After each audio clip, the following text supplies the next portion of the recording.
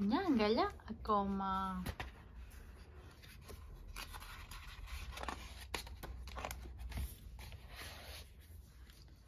Ήταν σούρουπο και έξω από το ποντικόσπιτο ο ήλιος είχε αρχίσει να δει.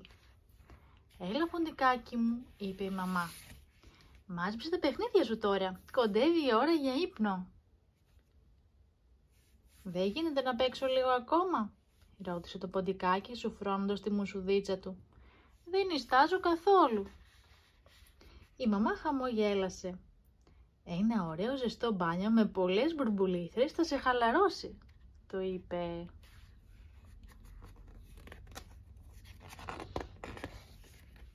Η μαμά γέμισε την πανιέρα με νερό και σαπουνόφουσκες.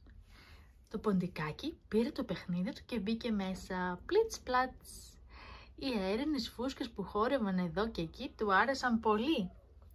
Με μια μεγάλη αγκαλιά η μαμά τύλιξε το ποντικάκι της μέσα σε μια χνουδωτή πετσέτα. Ζεστό και καθαρό, έτοιμο για ύπνο και όνειρα γλυκά, είπε καθώς του φορούσε την πιτζαμούλα του. Τι ωραίες πιτζάμες που έχει το μικρό ποντικάκι.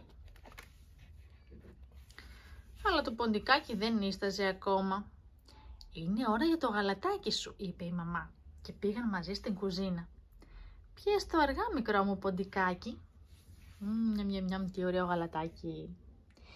Ύστερα η ποντικίνα πήρε το μικρό της στην αγκαλιά της και κάθισαν μαζί στην πολυθρόνα. Άρχισε τότε να του διαβάζει ένα παραμύθι. Στο ποντικάκι άρεσαν πολύ οι εικόνες με τις βάρκες που ταξίδευαν πάνω στα κύματα. Όταν τελείωσε το παραμύθι, ανέβηκαν στο δωμάτιο. «Τώρα είναι ώρα για ύπνο», είπε γλυκά η μαμά. «Μα δεν ιστάζω ακόμα», διαμαρτυρήθηκε το ποντικάκι. «Θα σε βάλω στο ζεστό σου κρεβατάκι μαζί με το κουνελάκι σου και θα δεις που σε λίγο θα σε πάρει ο ύπνος», του υποσχέθηκε η μαμά. Το ποντικάκι βολεύτηκε κάτω από τα σκεπάσματά του και αγκάλιασε σφιχτά το κουνελάκι του. Αλλά μόλις ένα λεπτό μετά, «Μαμά, δεν μπορώ να κοιμηθώ», φώναξε. «Θέλω να με ανανουρίσεις».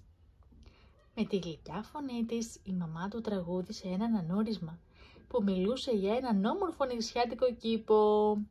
Το ποντικάκι ένιωσε τα βλέφαρά του να βαραίνουν σιγά σιγά. «Καληνύχτα μικρό μου», ψιθύρισε η μαμά. «Όνειρα γλυκά».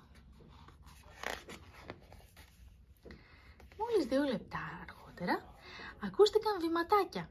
Ήταν το μικρό ποντικάκι που κατέβαινε γρήγορα τις σκάλες. «Μαμά, ακόμα δεν ιστάζω. Νομίζω ότι χρειάζομαι ακόμα μία αγκαλιά». Η μαμά αγκάλιασε γλυκά το ποντικάκι της. Ήταν μια μεγάλη τρυφερή μαμαδίσια αγκαλιά και μετά το έκανε άλλη μία αγκαλιά για σιγουριά. Και έπειτα του έδωσε ένα φυλάκι στη μουσουδίτσα του. «Ωραία να γυρίσεις στο κρεβάτι σου τώρα», είπε η μαμά και πήγε μαζί με το μικρό της στο δωμάτιό του. Αλλά το ποντικάκι εξακολουθούσε να είναι ανήσυχο. «Δεν νομίζω ότι μπορώ να κοιμηθώ ακόμα, μαμά. Φοβάμαι να μείνω μόνος μου. Θα καθίσω κοντά σου για λίγο».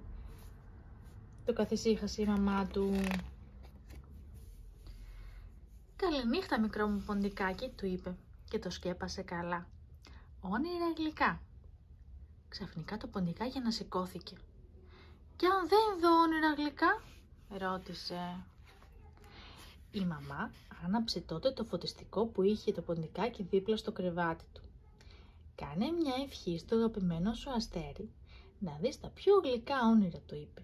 «Και το κουνελάκι σου θα είναι κοντά σου όσο κοιμάσαι».